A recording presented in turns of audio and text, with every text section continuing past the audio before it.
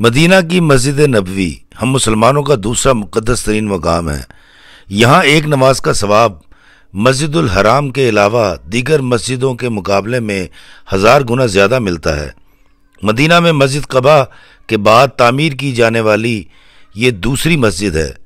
एक हदीस मुबारक के मुताबिक आका करीम सल्लल्लाहु अलैहि वसल्लम ने फरमाया कि मेरे घर और मस्जिद नबी के मंबर के दरमियान एक जगह जन्नत के बाग का एक टुकड़ा है, जिसे रियाजुज्जन्ना कहा जाता है। आज ये मस्जिद मदीना की हदूद से बाहर तक फैल चुकी है। आज इस मस्जिद में इस्लाम की इब्तदाई दौर की हज़ारों निशानियाँ मौजूद हैं।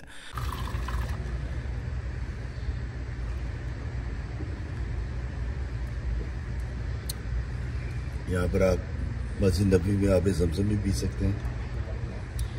और अभी मैं आया हूँ। ताजुद की नमाज़ पढ़ूँगा। आके दो जहाँ सरकार मदीना सल्लल्लाहु अलैहि वसल्लम के रोज़ा दस पर हाज़िरी दूँगा, फजर की नमाज़ पढ़ूँगा। और मस्जिद अभी आप देख रहे हैं बहुत खूबसूरत मस्जिद है ये। और ये अली भाई को भी मैं आब जमजम दे रहा हूँ। बिस्मिल्लाह, अली भाई आब जमजम पी रहे हैं। और मेरे पीछे देख रहे हैं आप।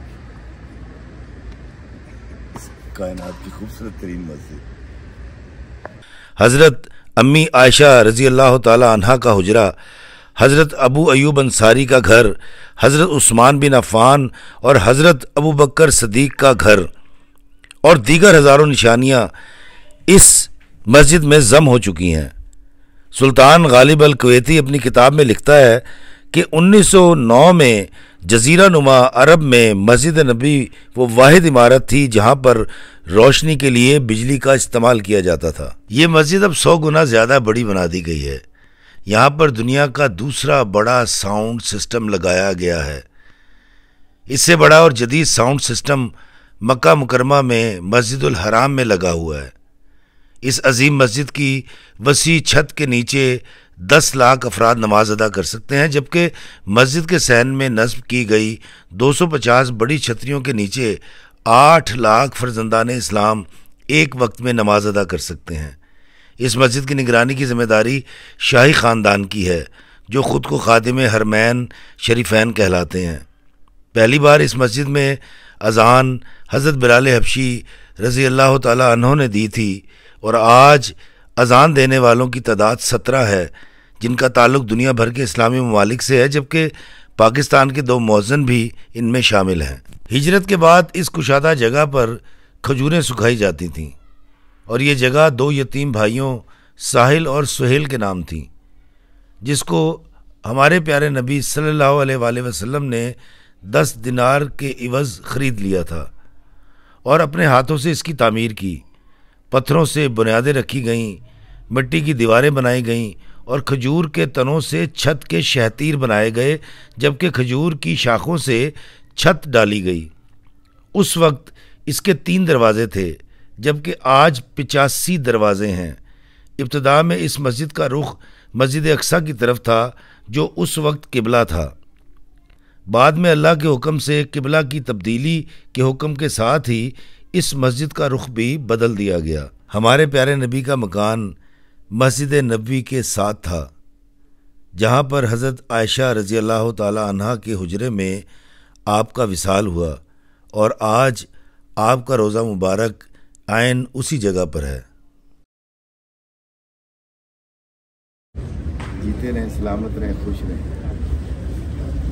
खलीफा अव्वल हज़रत अबू बकर सिद्दीक और खलीफा दोयम हज़रत उम्र फ़ारूक रज़ी अल्लाह तहो आप सल्लल्लाहु अलैहि वसल्लम के रोज़ा के अहाते में ही दफन हैं। मस्जिद नबी का सब्ज़ गुंबद उसी हुजरे के एन ऊपर है, जहाँ पर आके दो जहाँ सरकार मदीना रहा करते थे। अली बिन अहमद अल समूदी अपनी किताब वफ़ाउल वफ़ा में लिखते हैं कि रसूलुल्लाह सल्लल्लाहु अलैहि वसल्लम का रोज़े पर पहली बार गुंबद 650 साल बाद बनाया गया।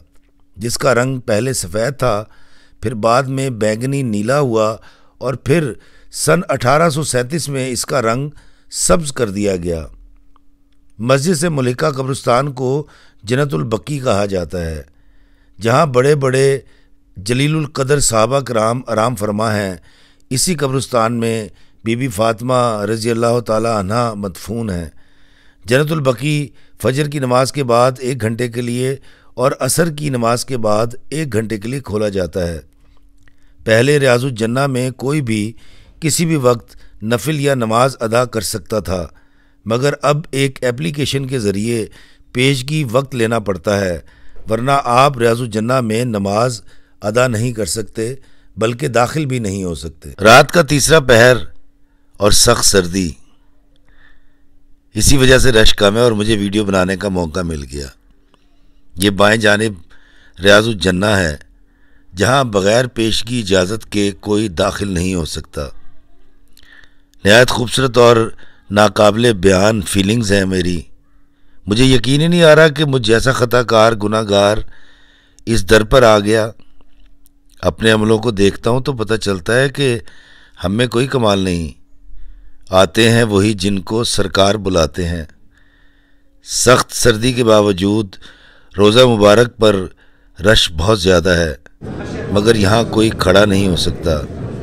आप ज़रा ठहर जाएँ तो सिपाही आकर आपको आगे धकेल देता है। सरकार दो आलम सल्लल्लाहु अलैहि के रोज़े की सुनहरी जालियाँ देखकर अपनी किस्मत पर फ़ख्र होता है, और बंदा अल्लाह पाक का शुक्र अदा करता है कि उसे ये वक्त मैसर आया कि वो आका करीम के रोज़े पर आ सका। बंदा गुमसुम सा हो जाता है बस ज़बान से दरूद पाक जारी हो जाता है और हैरत ज़दा बंदा पुरनूर नज़ारे देखता देखता, चलता चलता रोज़ा रसूल से बाहर आ जाता है और अपनी किस्मत पर फ़ख्र करता है कि उसे ये ज़्यारत नसीब हुई। इस मकाम पर आना, यहाँ नमाज़ें अदा करना, मस्जिद नबी की खूबसूरती देखना, रोज़ा रसूल अल्लाह पर हाज़री देना रियाजुलजन्ना में जाना नाकबिल बयान है।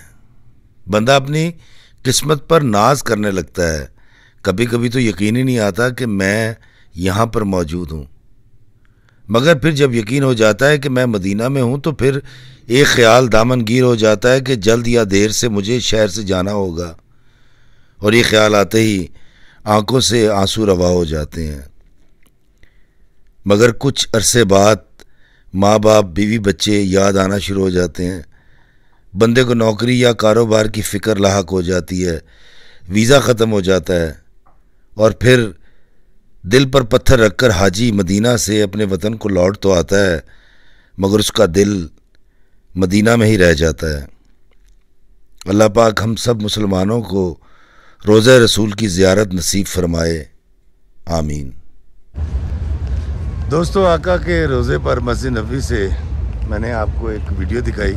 मैंने दिखाना चाहा कि रात के वक्त जब आप मस्जिद नबी में आते हैं तो मस्जिद नबी कैसी दिखती है और आका के रोज़े पर हाजिर देने वालों का कैसे तांता बंदा होता है और क्या कैफियत होती है जिससे लोग गुज़रते हैं। तो मस्जिद नबी में मैंने ये वीडियो बनाया आपके लिए, रात का वक्त है और बड़ी ठंडी हवा चल रही है।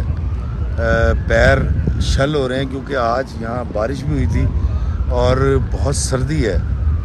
तो ये दिसंबर का महीना और मस्जिद नबी अब मैं, क्योंकि फ़्लाइट से उतरे थे, होटल गए, सामान रखा, वज़ू करके, आका के हाज़ी देने आ गए।